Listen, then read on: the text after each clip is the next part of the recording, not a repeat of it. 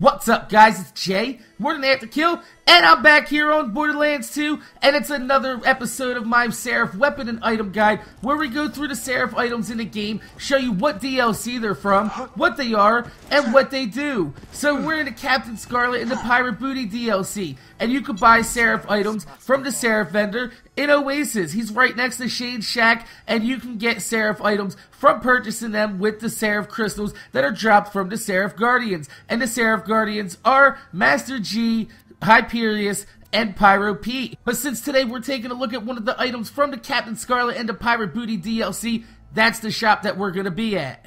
So today we're taking a look at the Actualizer, which is a submachine gun made by Hyperion. And as you can see, it's got a lovely pearlescent paint job on there. And the red flavor text says, we need to talk about your DPS report.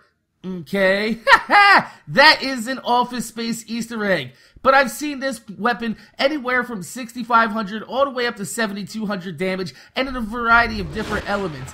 Like every other Hyperion submachine gun out there, it has visible sway when you aim down the sights right off the bat, which is why I recommend hip firing right off the bat and then going into the ADS type of uh, aiming because it will be a little bit more effective than that as you can get a little bit dizzy from trying to aim this and having the weapon sway go all over the place. I don't recommend this weapon to be used by a Mechromancer because if you're using Anarchy on your Mechromancer, like most people should because Anarchy is fucking amazing, it's uh, actually not really a good weapon for a character that has inaccurate weapon stats, even though it boasts a plus 200% accuracy for your weapons, it doesn't actually make a real difference because the Hyperion sway makes it real tough to control it off the first couple bursts, but once it starts going, it fires a little bit more accurate and you can damage people for range, but I wouldn't even try using it for range because uh, if an enemy has a sniper rifle, you're pretty much going to get fucked over and picked off. It's only once you start getting into the clip that it actually becomes pretty accurate,